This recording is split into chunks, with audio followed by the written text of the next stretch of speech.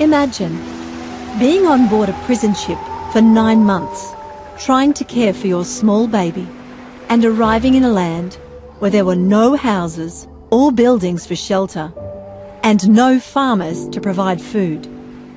That is what happened to Susannah Holmes. She had been deported from England to Sydney, New South Wales, Australia, in 1787 for alleged theft.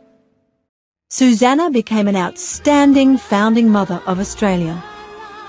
We have pleasure in presenting her story in this short video. It celebrates the publication of the book and audio called The Amazing People of Sydney, in which you can follow Susannah's journey and those of others who made great contributions.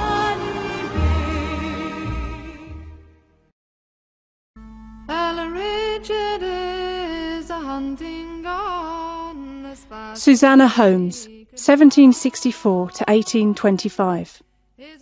I was sent to a mixed sex prison. There were more men than women. One needed to be strong to survive. Henry Kable befriended me. We both came from a Suffolk village called Surlingham. Before long, we were lovers, not that there was much privacy. I had been arrested for stealing. He had been in a gang of thieves led by his father. They were hanged, but Henry, the youngest, was spared. From 1783, we were imprisoned for three years in Norwich. It was an overcrowded, filthy place like other prisons. In 1786, we were listed to go to Australia on the First Fleet. Deportation, they called it.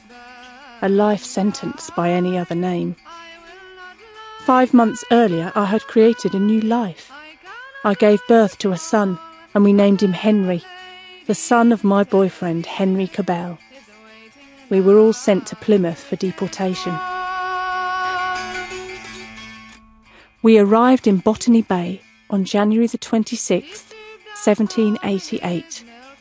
There were 12 ships and the men disembarked, but the 191 women were kept on board for another week.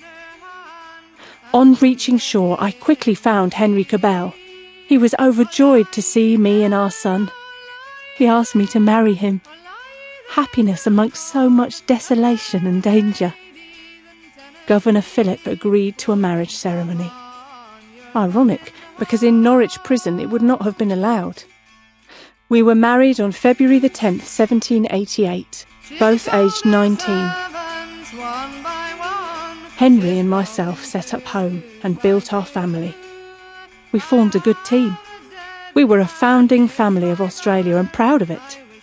As the mother of our 10 children, I led a full life. Henry served his 14 years and became a free man. We were determined to give our children a better start.